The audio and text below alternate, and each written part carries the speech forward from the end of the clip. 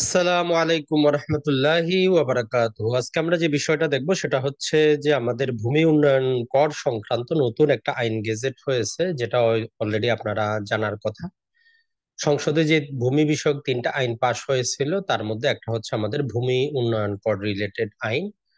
তো আজকের এই ভিডিওতে আমরা এ টু জেড বিস্তারিত দেখব যে আসলে এই যে আমাদের land development tax ordinance nineteen seventy সিক্সটাকে রহিতকরণ করে যে নতুন আইনটা নিয়ে আসা হলো তার মধ্যে কি জিনিসটা আছে? সবচেয়ে গুরুত্বপূর্ণ একটা জিনিস চেঞ্জ করা হয়েছে, যে কনসেপ্টটা আমরা বলে দিব, সেটা হচ্ছে সরকার এখন বলতেছে, জমির খাজনা কোনোদিন তামাদি হবে না।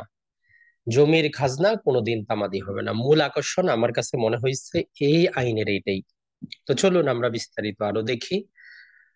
সর্বপ্রথমই হচ্ছে যে এটা আমাদের পার্বত্য যে জেলা সমূহ আছে, অর্থাৎ খাগড়াছড়ি, রাঙ্গামাটি, বান্দরবন এখানে প্রযোজ্য না। যেহেতু এখানের ভূমি ব্যবস্থা জরিপ খতিয়ান সম্পূর্ণ একটু পৃথক, তাই এটা সেখানে।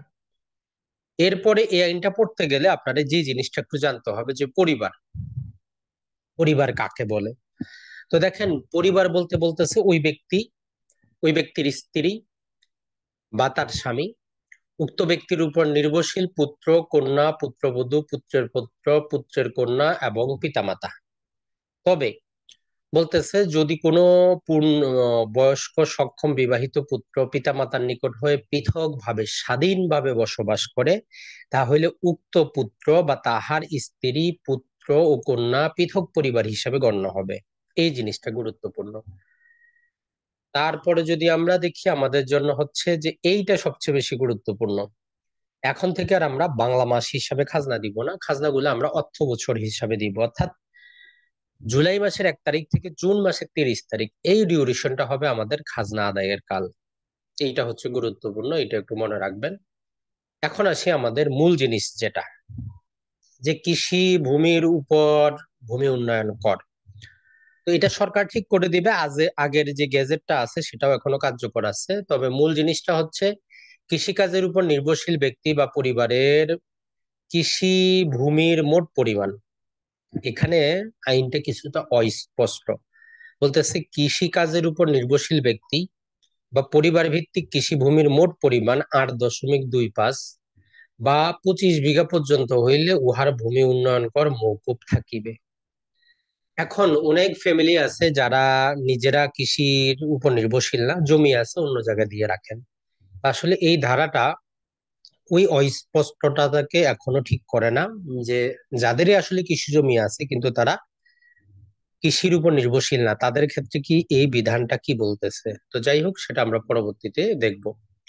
তবে এখানে আবার দেখেন যে, তবে শর্ত থাকে যে কৃষিকাজের উপর নির্ভরশীল ব্যক্তি এবং পরিবার ভিত্তিক কৃষি ভূমির মোট পরিমাণ আট দশমিক দুই পাঁচ একর বা পঁচিশ বিঘার অধিক হইলে সম্পূর্ণ কৃষি ভূমির উপর ভূমি উন্নয়ন কর দিতে হবে।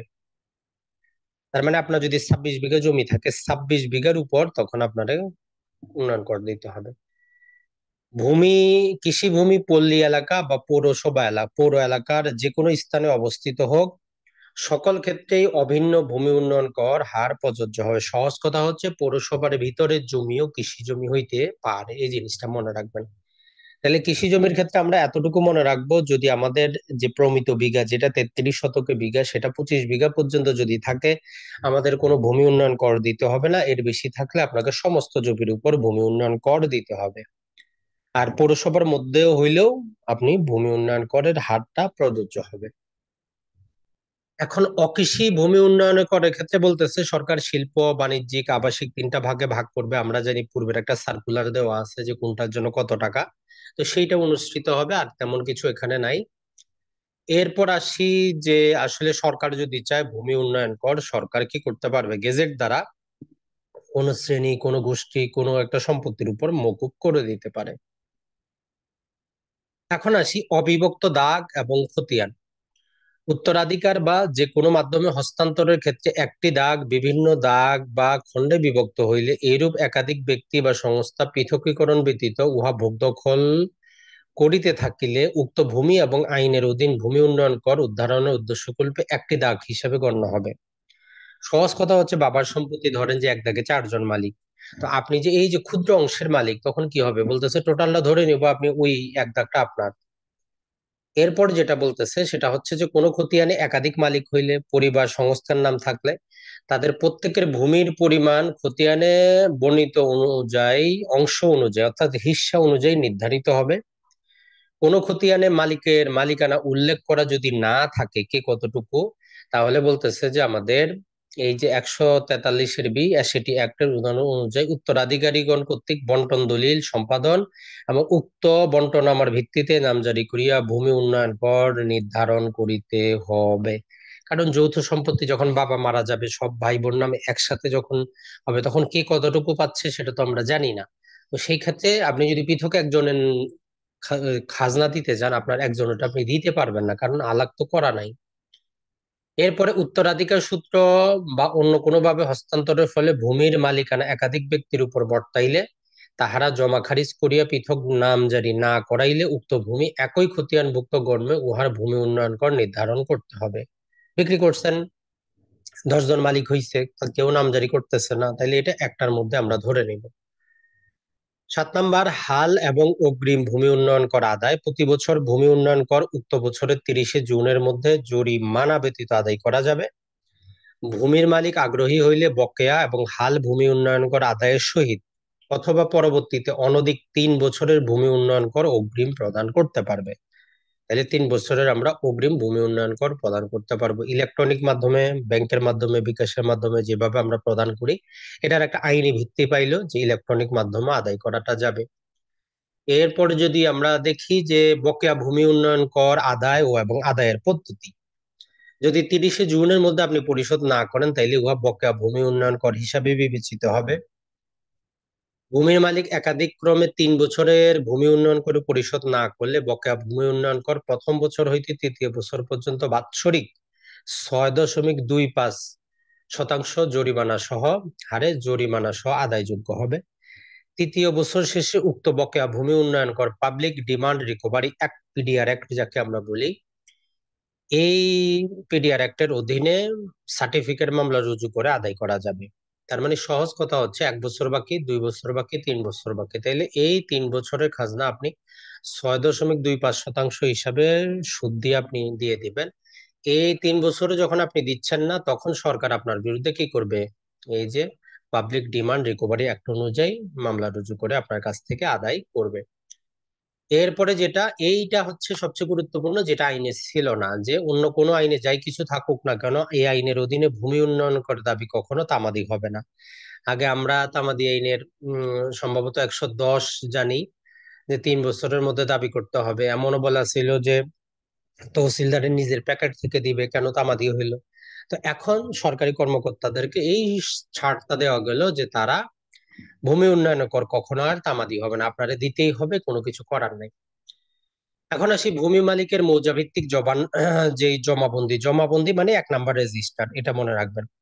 কোন ভূমি মালিকের একই মৌজা, একাধিক ভূমি থাকলে ও একটি জমাবন্দিতে একত্রিত করিয়া ভূমি উন্নয়ন কর নির্ধারণ এবং আদায় করতে হবে। এর পরে যদি আমরা তাহলে একটি মৌজায় আমাদের শুধুমাত্র একটি খতিয়ান থাকবে। একাধিক খতিয়ান থাকলে সেগুলা একটার মধ্যে নিয়ে আসা হবে। এই জিনিসটাই বলা হচ্ছে এখানে। এরপরে যদি আমরা দেখি ভূমি উন্নয়ন, কর, নির্ধারণ, সর্বনিম্ন ভূমির পরিমাণ। কোন ভূমি মালিকের কোন দাগে ভূমির পরিমাণ, ভগ্নাংশের শতাংশ থাকলে উহা পরবর্তী পূর্ণ শতাংশ। যেমন ধরেন যে আপনার ওয়ান পয়েন্ট ফাইভ আছে। তাইলে এটা আমরা ধরে নিব কি? দুই শতক। দুই শতক হিসেবে আপনার খাজনা আদায় করতে হবে। ন্যূনতম এক শতাংশের ভূমি উন্নয়ন কর আদায় করতে হবে। এখন যে জিনিসটা বলা হচ্ছে যে টাকার অঙ্ক যদি ভগ্নাংশ হয়, যেমন যদি আপনার আসে যে একশো টাকা এবং পঞ্চাশ পয়সা, তাইলে এটা দুইশো টাকায়, পরবর্তী পূর্ণ সংখ্যায়।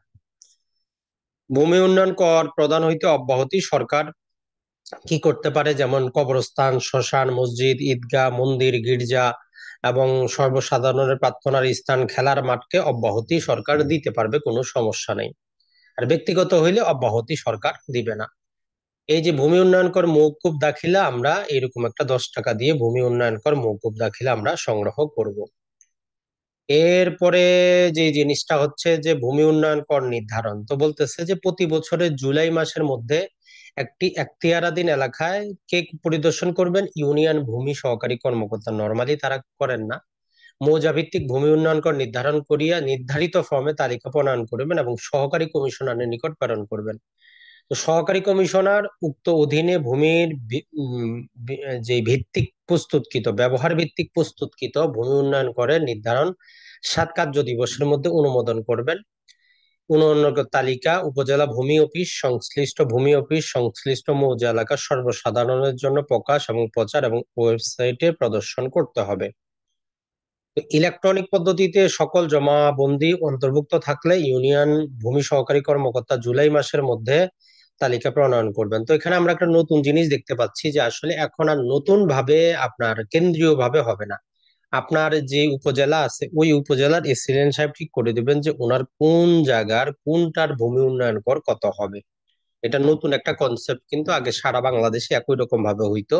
এখন আমরা অন্য অন্য ভাবে পাবো। এরপরে যদি আমরা দেখি যে মালিকদেরকে এস এম এস এর মাধ্যমে আপনারা জানায় দিবে, যদি আপনার বেশি দেওয়া হয় তাইলে আপনার পুনরীক্ষণ বা রিভিউ যেটাকে বলে রিভিউ আপনি করতে পারবেন। পনেরো কার্য দিবসের মধ্যে যদি মনে হয় বেশি ধরা হয়েছে আপনি রিভিউ করতে পারবেন। এবং উনি পনেরো কার্য দিবসের মধ্যে কি করবেন? উনি এটা নিষ্পত্তি করে দিবেন।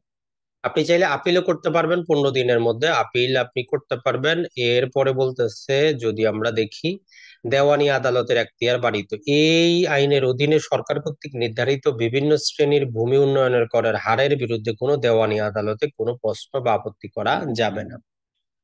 ভূমি উন্নয়ন করের আদায়ের সময়সীমা সরকার চাইলে অতি যে যে কোনো প্রকার প্যান্ডামিক এপিডেমিক ফোর্স যে মেজর যদি কোনো দেব দুর্ভিক্ষ হয় এই কারণে সরকার চাইলে সময়টা বাড়াইতে পারে। সরকার চাইলে আবার কমাইতেও পারে, ওই জিনিসটাও দেওয়া আছে। এবং একটা বিধি প্রণয়ন করা হবে। আর এটার মাধ্যমে land development tax ordinance nineteen seventy six রহিতকরণ করা হলো।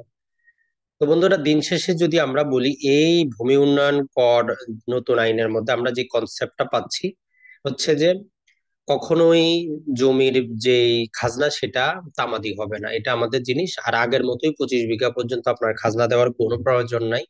আর এখন যে খাজনা নির্ধারণ করা হবে, এইটা আপনার ওই সংশ্লিষ্ট উপজেলার এসিলেন্ট সাহেবই নির্ধারণ করে দিবেন।